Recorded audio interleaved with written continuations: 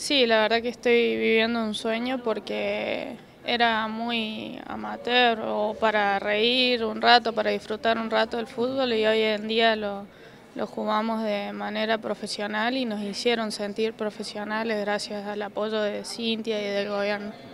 Estaba muy contento por, porque hicimos crecer el deporte de la provincia y por hacer historia y bueno, nos sigue apoyando siempre.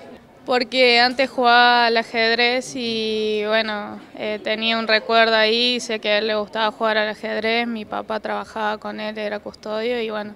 desde ahí aprendí yo a jugar al ajedrez, mi papá me enseñó después a mí y bueno, teníamos eso. Sí, él sueña con la Copa Libertadores, pero creo que, que todas queremos lo mismo, soñamos con eso, soñamos con esto y pensamos que, que nunca iba a ser posible y lo hicimos posible, así que podemos ir por más.